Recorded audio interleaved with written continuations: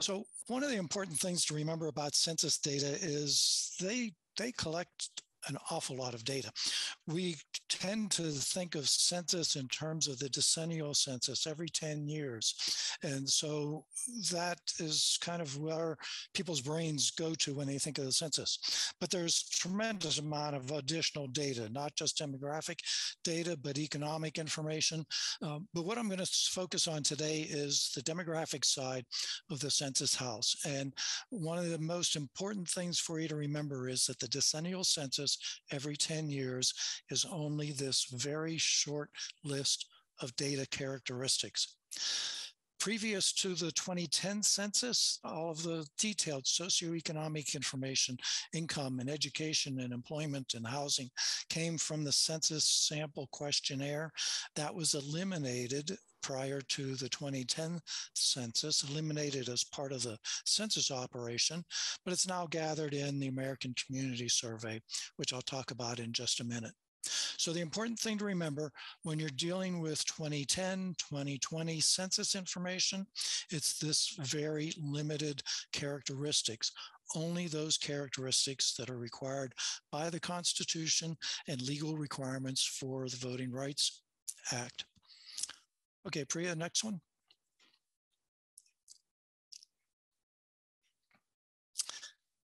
The successor to all of that socioeconomic data is something called the American Community Survey. Now, it was eliminated from these questions were eliminated from the 2010 census, but we already had the data uh, prior to that. The American Community Survey planning started in 1995, but in 2005, the Census Bureau actually did their first nationwide implementation. And so we've had this data since 19 since 2005. And you can see from this list that it's it's very comprehensive. It gives us economic information and social characteristics and housing characteristics uh, that were again previously in that sample form of the decennial census census data, when this was gathered in the decennial census, we got these indicators refreshed once every 10 years. That was one of the big motivations for implementing the American Community Survey because now we get this data refreshed every year. So it's much easier for us to monitor changes in demographic characteristics over time with the American Community Survey. Okay, next one. Now, geography in the census is one of the things that you really need to learn. And since we're dealing with GIS, Geographic Information Systems, that's the heart of it. And the big question is, how do I relate data to the geography? So this, this schematic uh, gives you the basic hierarchy of some of the geographic areas that the census provides to you. Uh, the line right down the middle, I'll start at the bottom at census blocks. Census blocks are pardon the phrase, the building block for all of the geography summer, geographic summaries that the census provides. If you live in a city urban area, then you can think of a census block as uh, a city block bounded by four streets. I live out in rural Albany, New York, Albany County, New York, and my census block, I have to drive about three and a half miles to totally enclose my census block. So if you're in a rural area, geographically, they are very different. Conceptually, they're the same. They are bounded by features or recognizable um, landmarks. Census blocks are aggregated into block groups. There's basically uh, eight, 10 blocks make up a block group. Block groups are aggregated into census tracts where there's, oh, maybe five or eight block groups to a census tract. Census tracts are hugely important. So that's a term for you to remember. Census tracts average about 4,000 in population, but they are small enough that we can use them to identify uh, neighborhood areas within um, more densely settled areas and large enough that there aren't so many of them that it's a manageable uh, entity and also from a survey standpoint um, much better or usable margins of error and more accurate. Census tracts are unique within counties. So every one of the 3,000 uh, plus counties in the United States has census tracts and they are unique. Numbering may be repeated, but you'll find a census tract one in lots of counties, but census tract one in Albany County is unique. Counties make up our states. For most of our states, Louisiana has parishes but they're analogous to counties. The Census Bureau aggregates states into divisions and regions, and all of this adds up to the nation. So all of the 11 million blocks in the country will add up to the national total. Now, along both sides here, you see a sampling of some of the other geographic areas that the census uh, can be aggregated into. And I'm going to talk about two categories of those political and statistical areas. So if we can go to the next slide, Priya. So political areas, I distinguish political areas because they have three things that statistical areas do not have. Number one, they have legal boundaries. So our states, all of our states have detailed legal boundaries. Our counties have legal boundaries. So that is one of the primary characteristics of a political area. A second one is that they have elected officials. States have governors. Counties uh, the title may vary.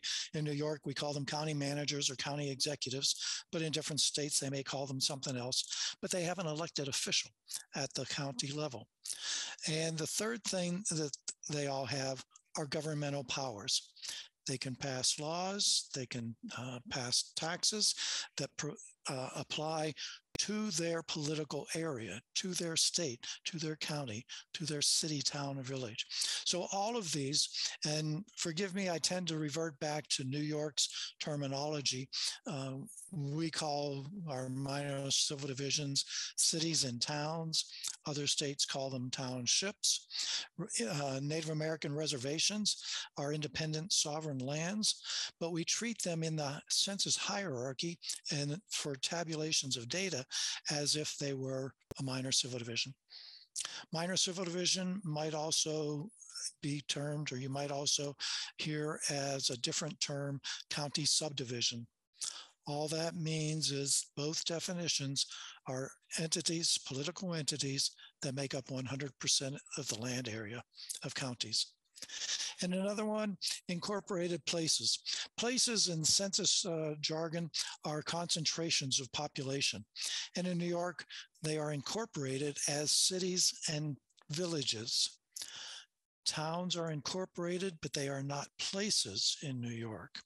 Uh, if you're familiar with New York City, oftentimes folks in New York City refer to the boroughs, the five boroughs of New York City. They are also counties. Can get confusing. I'm from Pennsylvania. Pennsylvania's boroughs are analogous to our villages. So terminology may differ, but recognize that Census Bureau is required to provide data for all of these political governmental units. Next one, Priya. So the other category that I like to recognize or distinguish are statistical areas. These are areas, uh, many when the Census Bureau defines them, are defined for the collection and reporting of data. They differ from political areas because their boundaries may change without any legal authority. They have no elected officials. They have no governmental powers. The names may uh, vary from uh, state to state, but the census has particular definitions. A couple of these to point out.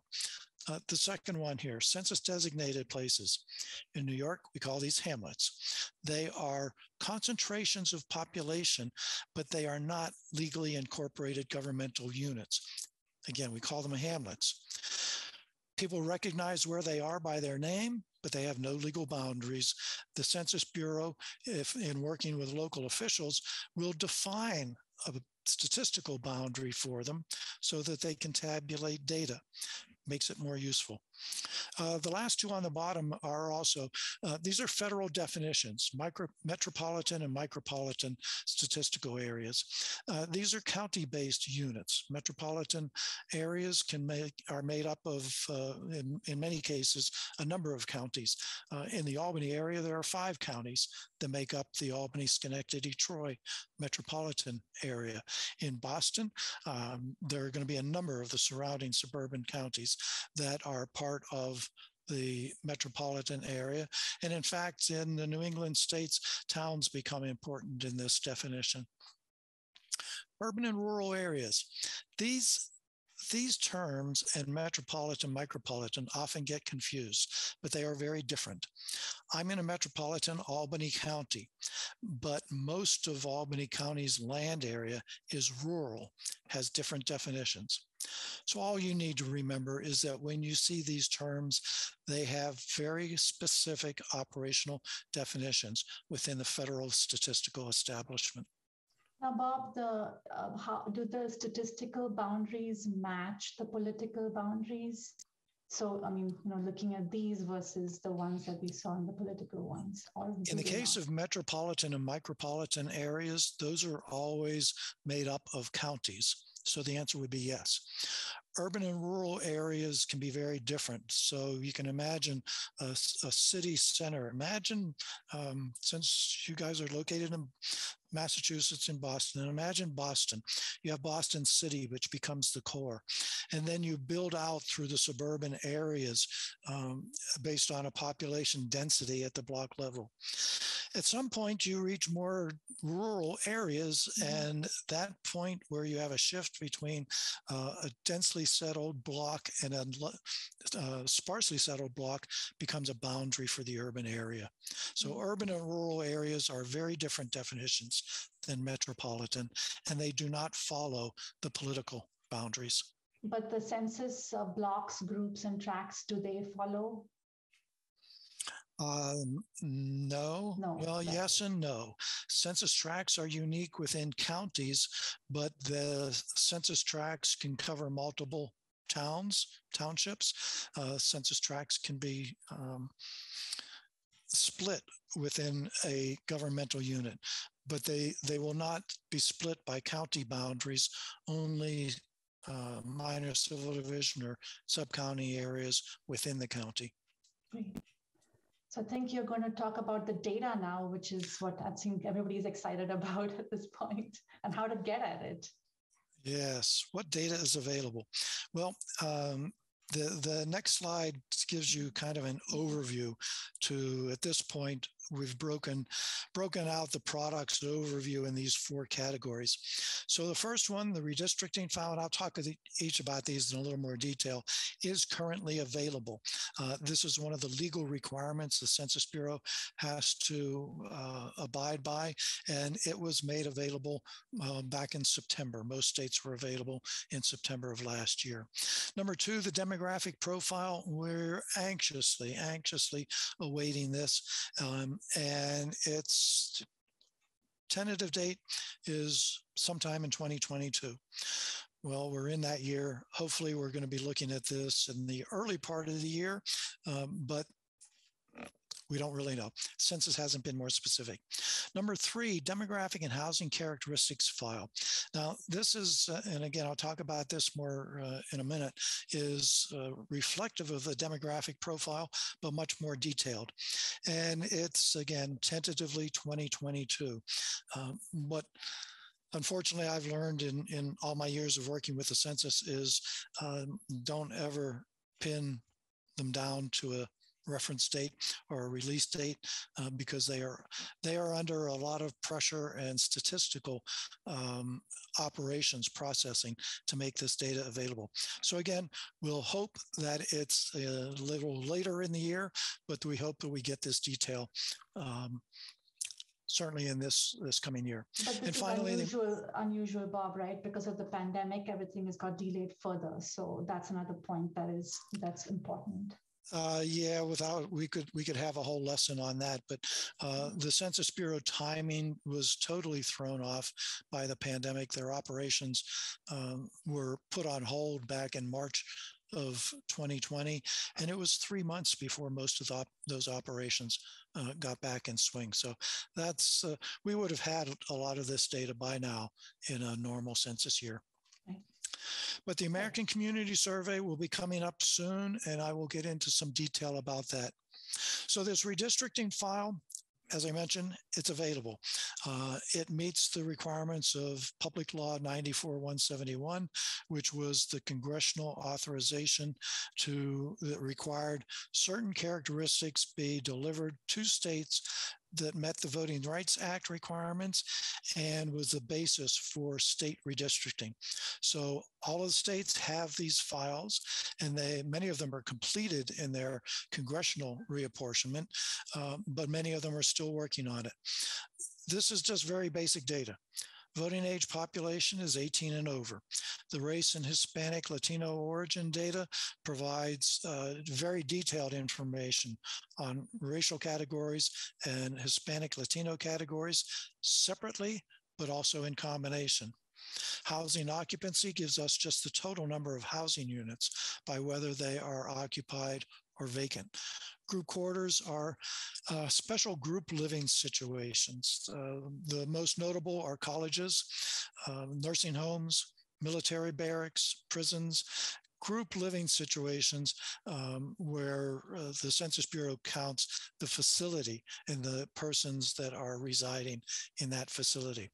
All of this data is available at the census block level. So for all 11 million blocks in the country, you get this detailed data. And that's what state legislative uh, commissions are working with. Uh, how do you how do you put together the jigsaw puzzle of blocks to create their new congressional district boundaries and state and county local legislative boundaries. That data is already available and we already use it for a lot of purposes. And again, a little clear uh, reference here. The one thing I want to point out is to make sure that you understand there's a difference between race definition and Hispanic or Latino origin. This data is captured in two separate questions. Individuals are first asked whether they are of Hispanic or Latino origin and what type, Mexican, Cuban, Puerto Rican, etc. And then they are asked the second question on what their race is white, black, or African American, American, um, African American, American Indian, Alaskan Native, Asian population, Native Hawaiian, Pacific Islander, limited number of racial categories and those two things can be viewed separately, but also in combination. And that's often necessary and important to remember. And then those tabulations are uh, um, repeated only for the voting age population, 18 and over. And then group quarters data is by type. Okay, so the next one. This demographic profile will be based on the basic characteristics that are gathered in the decennial census, but it gives us more detail than what that redistricting file gives us. So, you know, the um, one of the most important things as a demographer, we're anxiously waiting for the five year age group data. The, the redistricting file only gives us the 18 and over population. So demographically, that's a hugely important uh, advancement. But it also gives us by, data by sex, cross-tabulated by race and Hispanic uh, Latino origin. So that's the important thing to remember the basic profile uh, um, redistricting data is now cross-classified by a number of these dimensions to give us more detail. Household relationship, how are you related to the um, a spouse, son or daughter, um, adopted child, aunt, uncle, siblings, whatever that related uh, characteristic is, as well as people who are not related to the householder. If uh, domestic help or um, uh, foster children are in the house or uh, a roomer or boarder, that becomes an unrelated person in the household. Census uh, expects the lowest level of geography to be places, villages, cities, and minor civil divisions, towns, townships, and again, tentatively scheduled for this year, hopefully the early part rather than later part. And the next file that comes out of the 2020 census is called the demographic housing characteristics file, similar to the old 2010 census summary file. Uh, summary file was the terminology used for a number of decades. Very similar, but not quite as detailed. This is where some of the Census Bureau's privacy concerns have come into play and have limited some of the detailed uh, data. So age, for example, and I'll use this as an example. We haven't seen the final specifications, but uh, historically we would get age in single year up to uh, 100 or more which from a demographer's standpoint was hugely important. That age detail may be restricted, uh, still more so than the five year data, uh, five year age groups, but it may still be restricted in some manner. So this will give us a lot more data than a profile gives us. Similar to the old 2010 data, but not quite as detailed as some of us uh, census data geeks would really like to see. The Census Bureau hasn't told us the level of geography yet uh, or specified a date. And the last data source that I want to mention is the detail of the American Community Survey. Now, I showed you some of the basic categories, but this gets a little bit more detailed and serves two purposes for us. So the Census Bureau provides these three basic profiles beyond the demographic data. Social, the DP02 social characteristics profile, more detail on households by type and relationship and fertility and marital status and education, grandparents, disability. You can read the list. This becomes very detailed information um, about our social characteristics. The DP3 economic characteristics, similarly, a subset of data, but much more detailed. Employment status gives us um, armed forces and civilian employment by gender, um, whether people are employed or unemployed what occupation do you hold? What industry do you work in? Class of worker is whether you're a private sector, public sector. Income characteristics, household and family income distributions and benefits received. Whether you have uh, health insurance coverage, the type of coverage and age uh, breakdowns and poverty status of families and individuals, uh, families by type, um, married couple families versus single male, single female families, individuals, children versus seniors, much more detail. And you can see a long list for housing also. Uh, housing is generally in three categories occupancy characteristics, uh, characteristics of occupied versus vacant uh, units, structural characteristics about the building you live in, uh, the year it was built, and numbers of rooms, whether you own or rent the unit. Um, how many vehicles do you have uh, available? Um, how do you heat it? Do you have plumbing, kitchen, and telephone available? What are the financial characteristics? The last point I want to make about this is these titles. Notice I've identified them as DP02, 03, 04. As you get into the Census Bureau's dissemination system, it's important to start learning these table identifiers because they will rapidly get you to the data that you want once you learn what they are and what data content is in them. And the URL at the bottom, if you really turn into a census data geek, you can download this table shell file, which gives you down to the individual variable and characteristic, the entire file layout of data that's available for each one of the detailed tables. Okay. So so now the data. yeah. Now, how do we get to this data? Um, the data access system is data.census.gov. That's the URL. So if you Google that or just type it into your browser, you're going to come to this page. I'll be frank with you, I really don't like it. The system itself is very powerful. Once you get used to it, uh, you can get an awful lot out of it, no question. What I don't like is this interface because for the person who doesn't really know what it is they're looking for, kind of leaves me hanging as to what I do next. Uh, if I hit the we're not doing a live demo, but if I hit that view tables button, it's going to give me three or four or five basic tables. And then it's also going to tell me that there are 3,901 other tables. How am I going to weed through those? The data profiles give me three areas here. How do I get to my geographic area, my town, my city? Uh, map visualizations.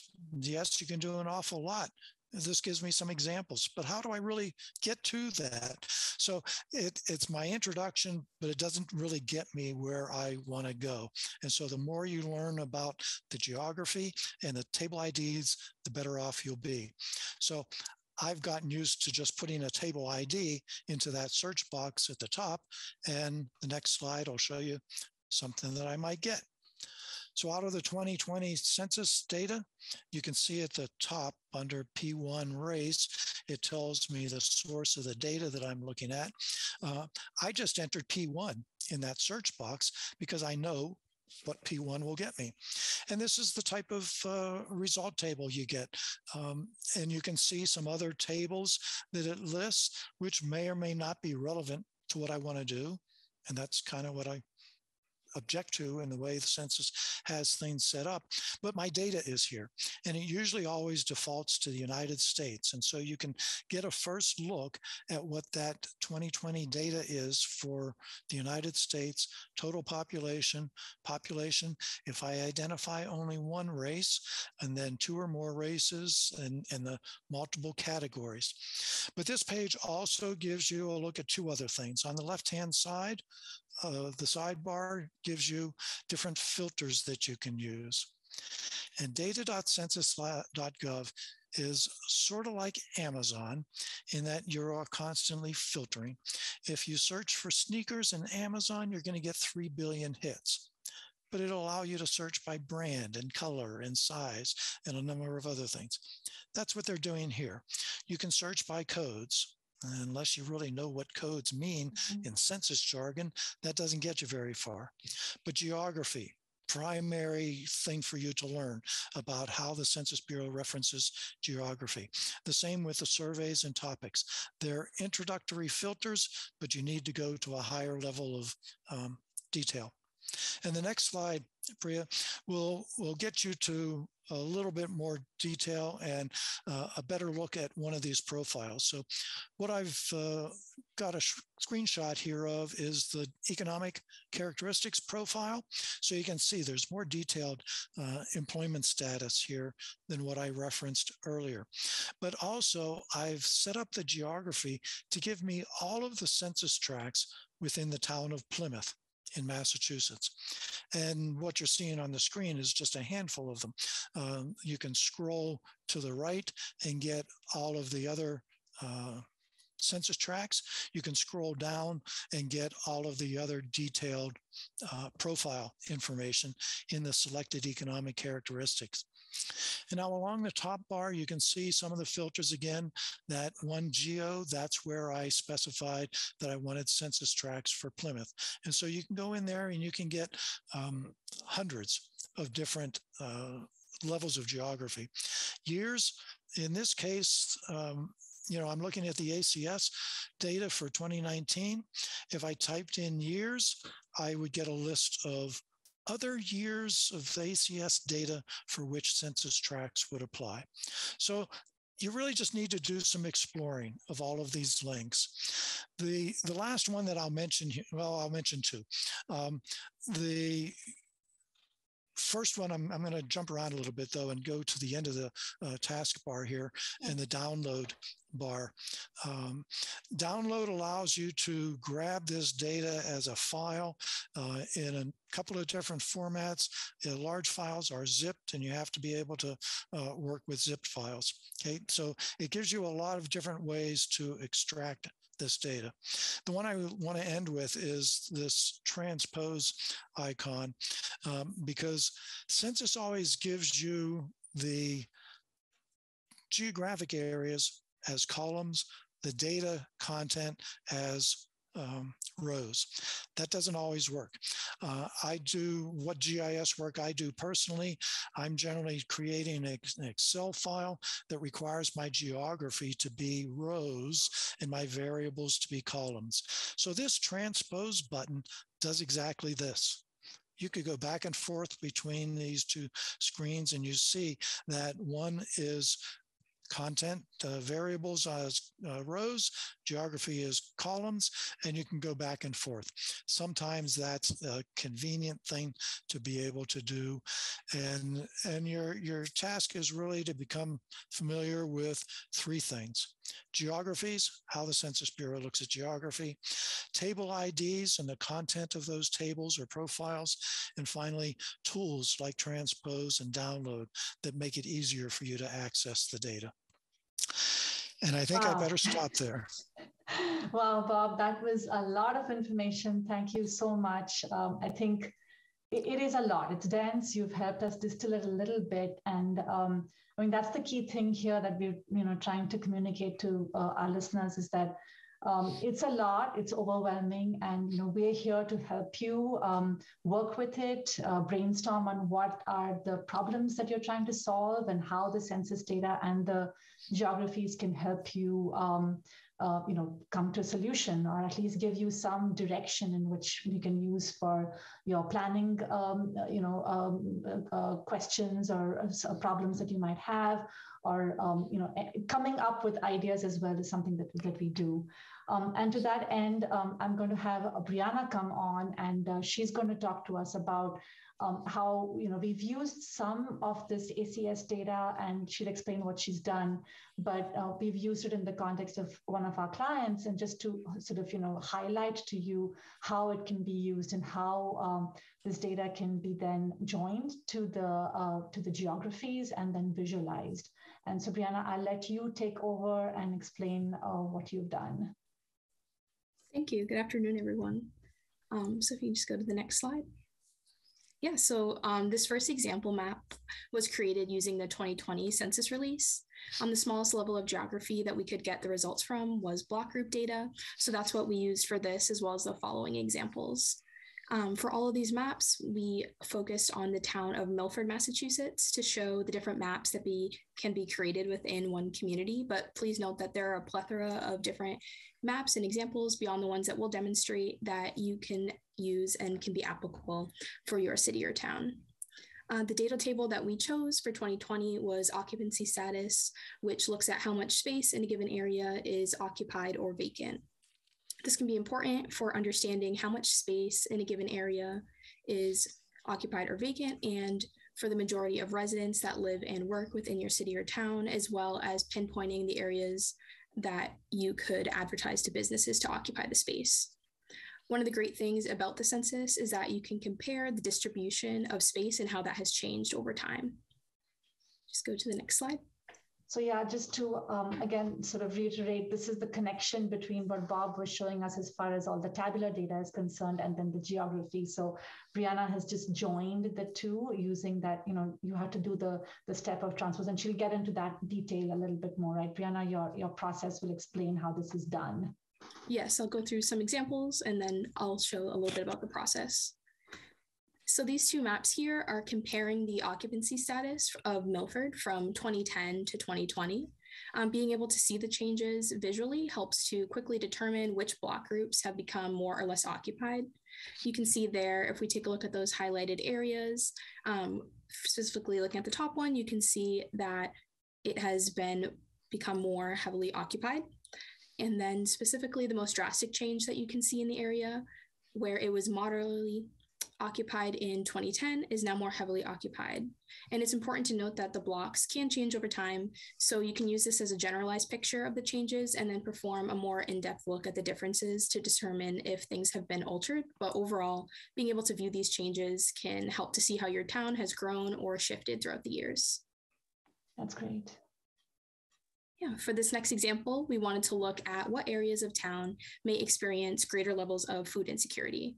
To do this, we used data from the 2019 ACS five-year estimates.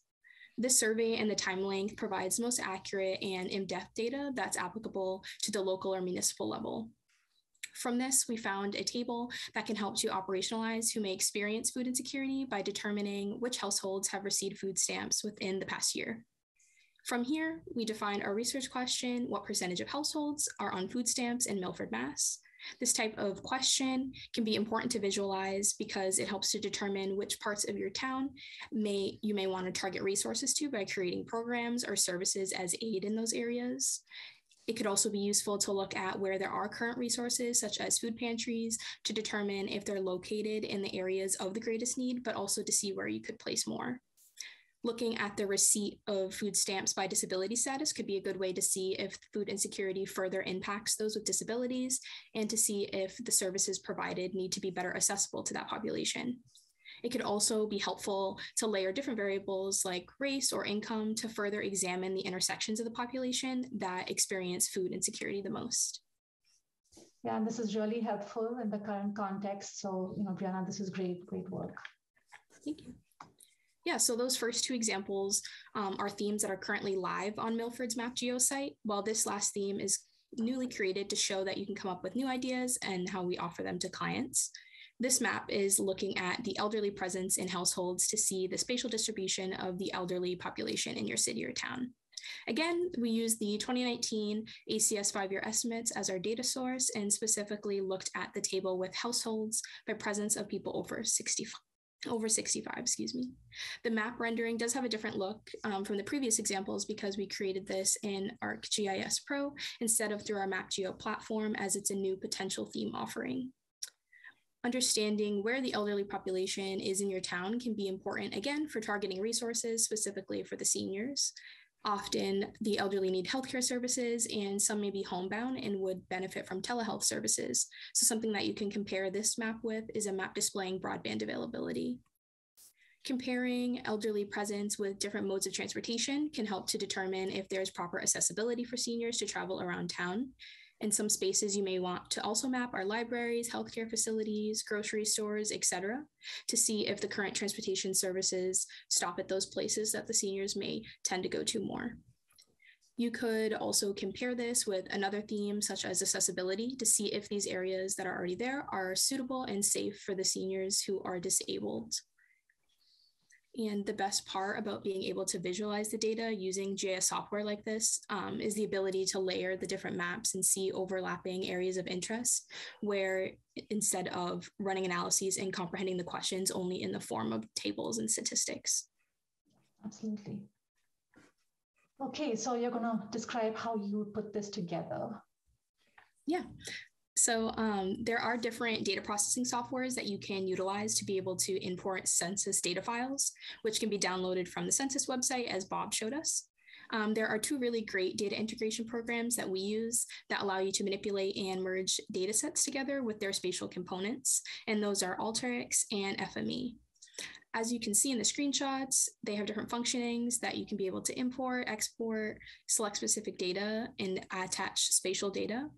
Um, and while these are the ones that we like to use, you can achieve this with other GIS software such as ArcGIS Pro. So don't think that these integration softwares are the only ways that you can process your data. Um, we specifically used Alteryx to set up the processes and make the data set for all Massachusetts cities and towns to be able to visualize the maps I showed today. And I'll briefly walk you through the process to have a more high level understanding. So we first narrowed down the data sets that we wanted to use and we downloaded them as CSV files from the census website. We transposed them as Bob showed earlier, so all of the demographic information were in columns. Um, we then went into Alteryx and input every data file that we wanted to combine into this one large data set.